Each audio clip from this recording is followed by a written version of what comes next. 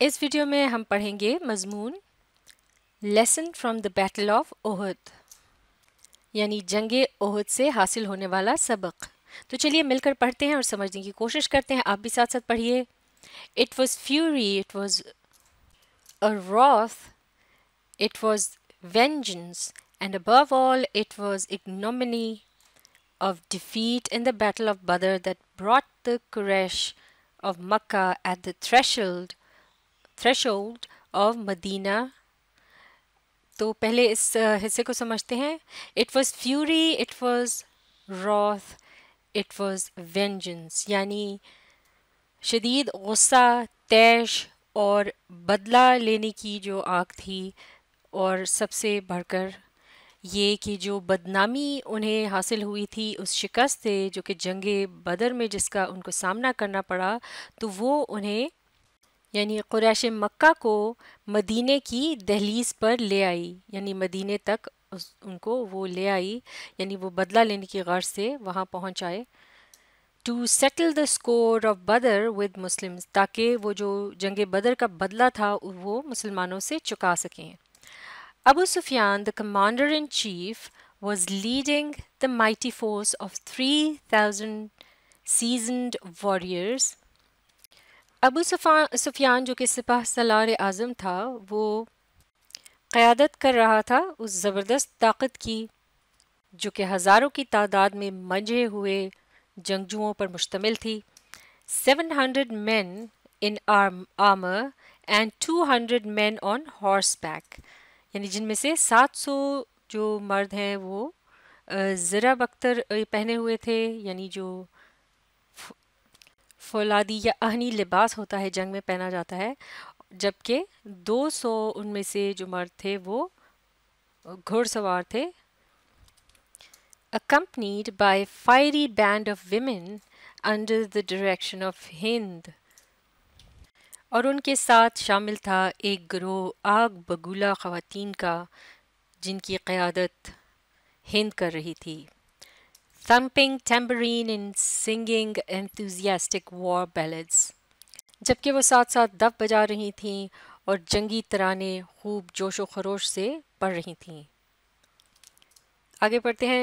when the news of the marching enemy reached the beloved prophet Hazrat Muhammad Rasul Allah Khatamun Nabiyyin sallallahu alaihi wasallam he convened the meeting of his comrades to work out strategy strategy for defence معاف کیجیے گا، یہ لفظ جو ہے to اس کی spelling کو یہاں درست کر دیا گیا ہے۔ تو اب یہاں یہ بتایا جا رہا ہے کہ جب یہ خبر دشمن کی پہنچی کہ وہ اس طرح اپنے دستے کو لے کر یعنی چڑھائی کر رہے ہیں، اس طرف پہنچ رہے ہیں یعنی مدینہ کی جانب۔ اور یہ خبر جب پیارے نبی حضرت محمد رسول اللہ ختم النبیین صلی اللہ علیہ وآلہ وسلم تک پہنچی۔ تو انہوں نے اپنے ساتھیوں کے ساتھ کامریڈز یعنی ساتھی، ان کے ساتھ ایک میٹنگ یعنی ملاقات کنوین کی یعنی رکھی تاکہ وہ ایک اسٹریٹجی یعنی لاہ عمل جو ہے، دفاع کا یعنی طریقہ کار اس کو تشکیل دے سکیں۔ آگے پڑھتے ہیں۔ Looking at the strength of enemy یعنی جو دشمن تھا اس کی طاقت کو مد نظر رکھتے ہوئے دا بلاوڈ رسول صلی اللہ علیہ وآلہ وسلم وانٹیڈ ٹو اڈاپٹ ڈیفینسو معاف کیجیے گا اسٹریٹجی تو جب انہوں نے دشمن کی طاقت کو مد نظر رکھا تو پیارے رسول صلی اللہ علیہ وآلہ وسلم یہ چاہ رہے تھے کہ وہ دفاعی حکمت عملی اپنائیں یعنی آگے بڑھ کر حملہ کرنے کے بجائے پہلے وہ رکے رہیں اور دیکھیں کہ دشمن کیا کرتا ہے۔ Allowing the enemy to besiege the city of Madinah یعنی جو دشمن ہے اسے یہ اجازت دی جائے کہ وہ جو شہر ہے مدینہ کو اس کے گرد محاصرہ کر لے۔ This act of beleaguering would have greatly dissipated the strength of enemy and the Muslims could have easily decimated them in phases یعنی اگر یہ حکمت حکمت عملی اگر اپنائی جاتی تو یہ خاصی پریشان کن ہوتی دشمنوں کے لیے اور ان کی جو طاقت ہے اس کو وہ منتشر کرنے میں مدد دیتی اور مسلمان جو ہیں وہ بڑی آسانی سے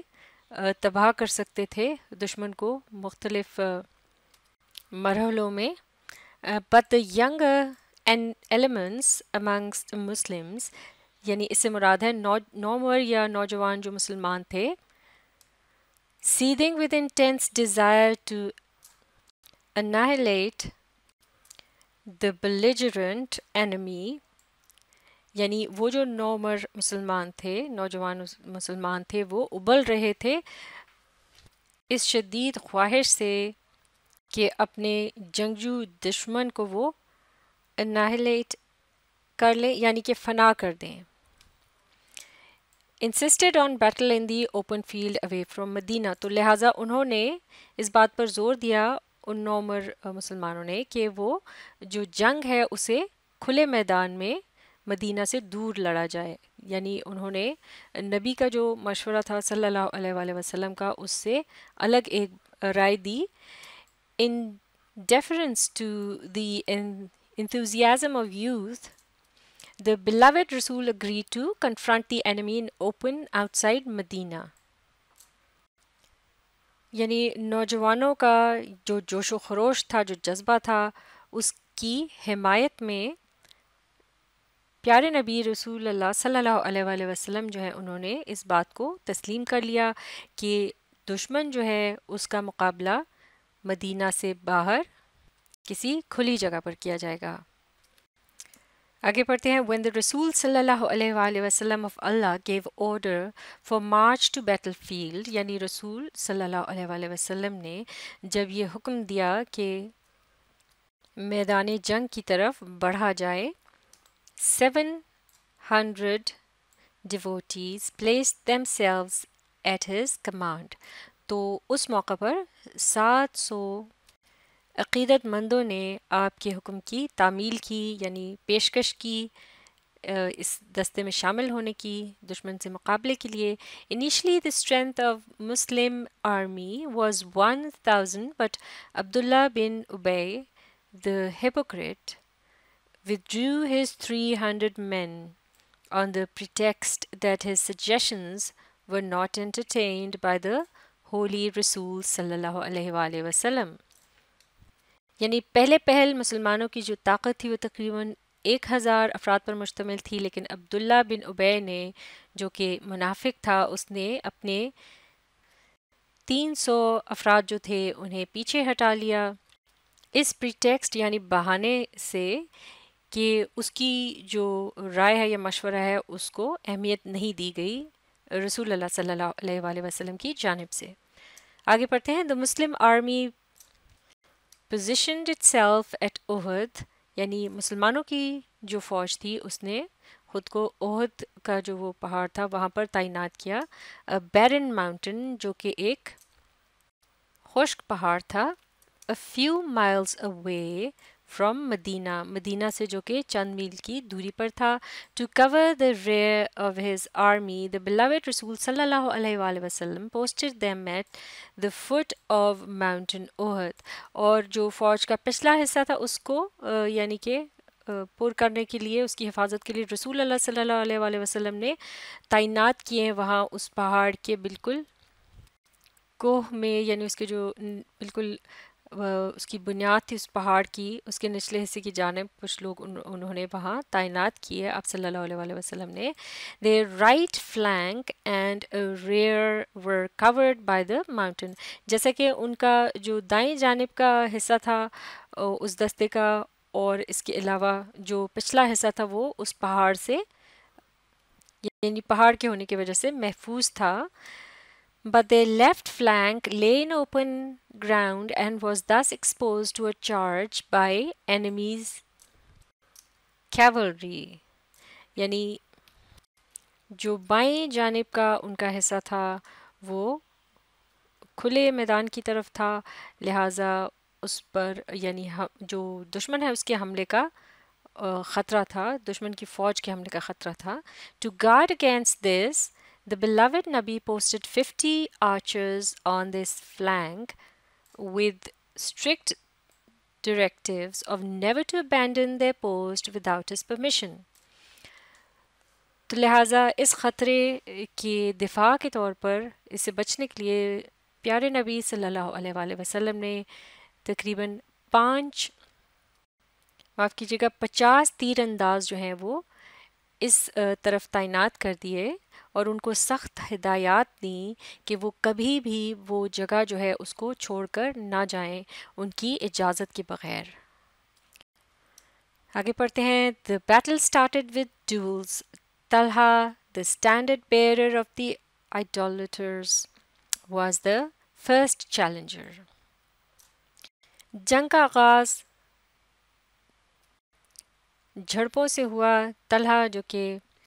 بت پرستوں کی سربراہی کر رہا تھا اسٹینڈرڈ بیئرر یعنی ان کا سربراہ تھا آئیڈولٹرز یعنی بت پرست۔ اس نے سب سے پہلے للکارا as he stepped out of the ranks of polytheist حضرت علی رضی اللہ تعالیٰ عنہ stepped out of the ranks of Muslims جو ہی یعنی طلحہ نے ان مشرقوں کے جو صف تھی، اس سے قدم باہر نکالا۔ ادھر حضرت علی رضی اللہ تعالیٰ عنہ نے بھی مسلمانوں کی صف سے قدم باہر رکھ دیا۔ Talha never stood a chance Talha کو ایک بھی موقع نہیں ملا۔ حضرت علیز،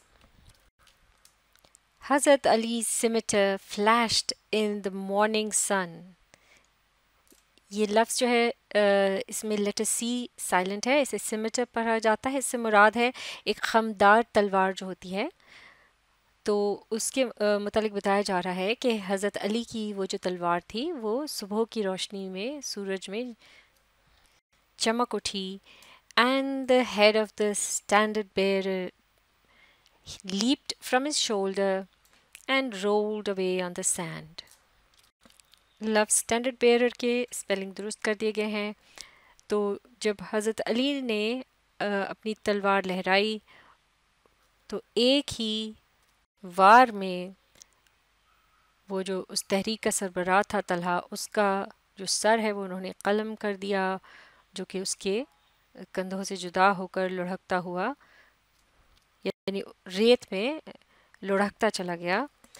اللہ اکبر چانٹڈ دا ہولی پروفیٹ حضرت محمد رسول اللہ خاتم النبیین صلی اللہ علیہ وآلہ وسلم اللہ اکبر اللہ اکبر echoed from the eagerly watching Muslim army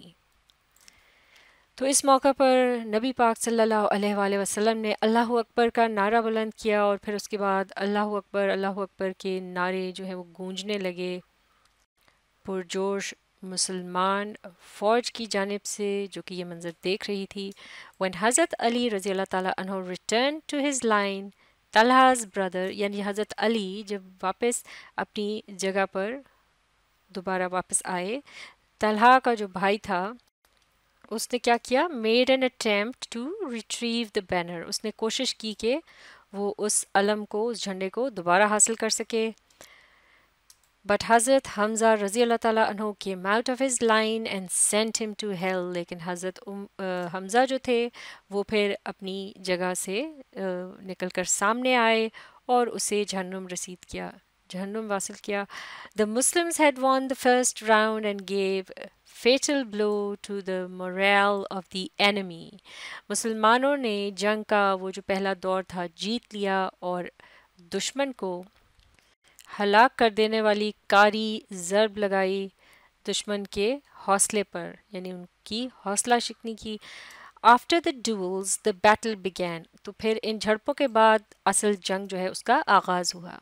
It appear that the happening of events at the beginning of battle were going the same way as رسول صلی اللہ علیہ وآلہ وسلم ہیڈ امیجنڈ تو بظاہر ایسا نظر آ رہا تھا کہ جو وہ سارے واقعات ہیں جنگ کے اس کے شروع کے دوران وہ تقریباً اسی طرح سے چل رہے تھے جیسا کہ رسول صلی اللہ علیہ وآلہ وسلم نے تصور کیا تھا۔ دا چارج آف علی رضی اللہ تعالیٰ عنہ، حمزہ رضی اللہ تعالیٰ عنہ اینڈ ابو دجانہ رضی اللہ تعالیٰ عنہ spread panic and